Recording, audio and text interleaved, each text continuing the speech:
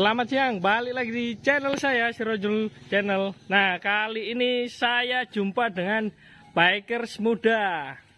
Bersama dengan siapa, Mas? Maulana Harley mas. Bisa Oh, Harley. panggilannya Mas Harley. Nah, ini, Mas, ah, hari ini lagi ada apa ini, Mas? Yang mau dibagikan ini, Mas? Eh, motor sport superbike Yamaha MT 01. Wah, koleksi terbaru, Mas. Ya koleksi terbaru tapi baru mau dijual ini mas. Oh mau dijual. Ini. nah ini untuk para netizen atau para penggemar motorsport, ini motornya dijual, motornya Mas Harley. Nah eh, berikut saya spilkan untuk motornya. Jadi untuk spesifikasi motornya seperti apa Mas? Eh, motor MT 01 ini 1700 cc Ya, tapi aslinya itu 1670. oke. Di, digenapin jadi 1700. Oh iya berarti kurang lebihnya pasnya 1700 cc. Ya. Nah, seperti ini penampakan motornya. Jadi motor ini tipenya sport touring ya, Mas ya. Iya. Nah, ini. Nyaman Jadi untuk pakai touring ini mas. bisa dijelaskan, Mas, mulai dari bagian stangnya, Mas. Stangnya standar mas, bawaan motor. Oh, jadi ini stangnya masih standar semuanya.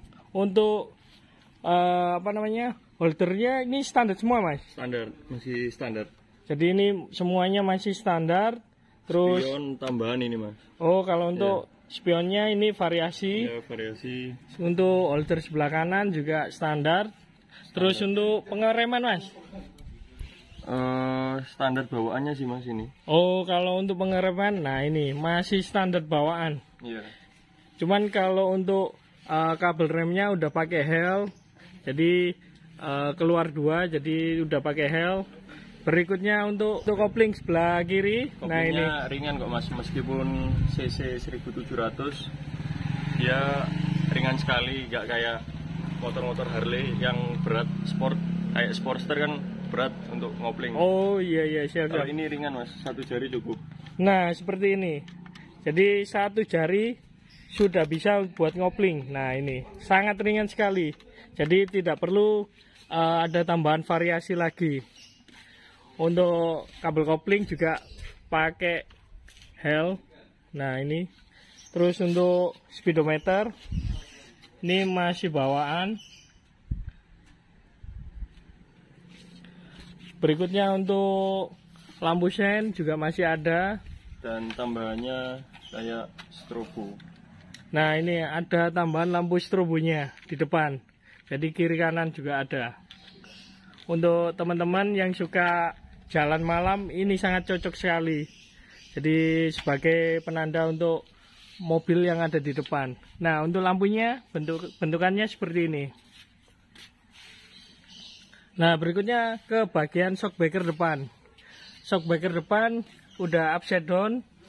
Jadi untuk eh, piringannya kiri kanan pengereman Double disc brake. double disc brake semuanya masih bawaan kaliper master rem juga masih bawaan untuk velgnya nah ini dia jadi velgnya masih bawaan ya Mas ya Ya masih bawaan. nah ini velgnya jadi Merek Pirelli. mereknya Pirelli. Untuk bannya juga pakai Pirelli. Nah ukurannya 120 per 70 nah berikutnya masuk ke bagian tangki. Ini dia bentuk tangkinya. Jadi motor ini memang tidak ada fairingnya biasanya kalau motor sport ada fairingnya jadi ini model naked jadi terbuka semuanya Ya. bebas melihat. Nah, di tangkinya ada logo ini. Gambar gambar Aslinya logonya Yamaha cuma diganti tengkorak. Oh, siap. Jadi logo garpu talanya diganti tengkorak. Nah, seperti ini. Jadi supaya lebih eh, lebih garang dan lebih laki. Untuk tutup tangkinya masih bawaan. Nah, berikutnya turun ke bagian engine. bentuk engine-nya hampir seperti Harley ini mas. Iya. Ah ini. Jadi Push rodnya besar. di Satu bagian ini ada push rodnya. Satu push rod, ini satu push rod. Jadi bentuk bentuk mesinnya V-twin. Nah seperti ini. Jadi sangat mirip sekali dengan Harley Davidson. Dan untuk eh, karburatornya udah engine ini ya mas ya apa Eh, namanya? Injeksi. injeksi ya. Nah, jadi tidak pakai karburator, injeksi. Berikutnya ke bagian belakang. Nah, ini yang paling unik rantainya. Jadi gear rantainya ada di sebelah kanan. Kalau umumnya motor-motor eh, sport Jepang, biasanya gear rantainya masih di sebelah kiri. Kalau ini di sebelah kanan. Jadi mirip motor Eropa atau Amerika. Kalau untuk velg bagian belakang, nah ini dia Bawaan. masih bawaan semuanya. Jadi bannya juga masih be- pakai Pirelli, semuanya masih original. Nah ini yang paling unik bentuk knalpotnya. Jadi knalpotnya ke atas. eh, keluar dua kiri kanan dan ukurannya sangat besar sekali. Dan nggak nggak akan panas kalau kita gonceng pacar kita. siap siap. Nah ini yang paling nyaman sekali eh mufflernya ini atau knalpotnya ini eh, dibalut dengan Karbon. karbon. Jadi ini Karbon. Original karbon, bukan bukan karbon celup ini ya mas ya. Bukan. nah ini, jadi ini karbon Kevlar original. Untuk eh, panasnya knalpot tidak akan eh, mengganggu kenyamanan yang dibonceng bagian belakang. Iya. Nah, berikutnya untuk penampakan bagian belakang. Ini lampu stop Stop lamp. stop lamp belakang. Jadi ada posisinya di tengah-tengah knalpot. Berikutnya untuk lampu sen juga ada. Nah, seperti ini. Jadi motor ini terlihat sangat garang sekali. Nah, seperti ini. Nah, ini bagian kiri. Jadi bagian kiri untuk pengereman. Jadi bentuk armnya seperti ini, swing armnya. Untuk logo eh, tipe motornya juga ada di apa cover knalpotnya MT01. Nah ini. Untuk bagian sebelah kiri seperti ini penampakannya mesinnya. Nah di sini ini bagian apa mas? Oli. Oh, Kalau olinya. Kita ngisi oli oli mesin di sebelah sini. Oh siap. Terus kalau mau eh, ganti oli atau ngetap oli itu sebelah Oh di bawah ya mas ya. di bawah. Mas. Nah ini jadi pada eh, masih seperti pada umumnya motor biasanya ya mas ya. Iya. Nah ini dia. Kalau untuk ini mas eh, radiatornya, Nggak ada. oh nggak ada radiator.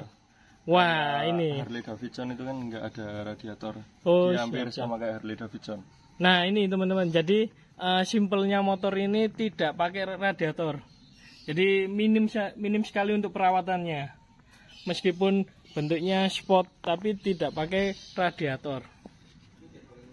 Dengan kapasitas cc 1700 pasti yang penggila-penggila motor kencang Nah, ini baru solusinya. standar. Nggak Nah. perlu bore up lagi. Benar mas, tidak perlu bore up bore up lagi. Ini aja di gaspol ini. Nah berikutnya boleh dicek sound kan mas? Oh, untuk suara mesinnya.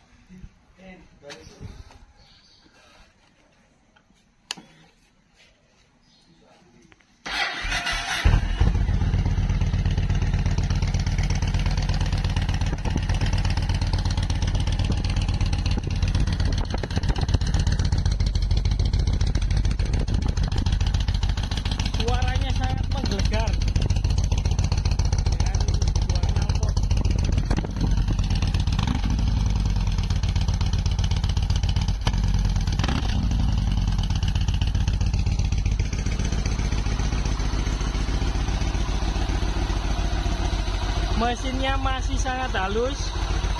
Nah ini suara mesinnya.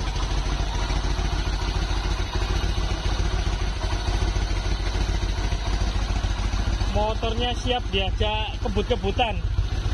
Jadi yang minat dengan motor ini langsung aja bisa hubungi nomor yang saya cantumkan di bagian deskripsi.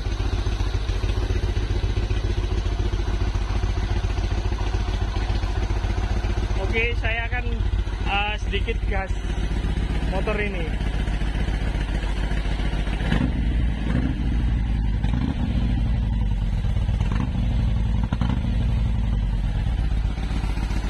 Karena waktunya jam tidur siang, saya nggak bisa ngegas terlalu terlalu kencang.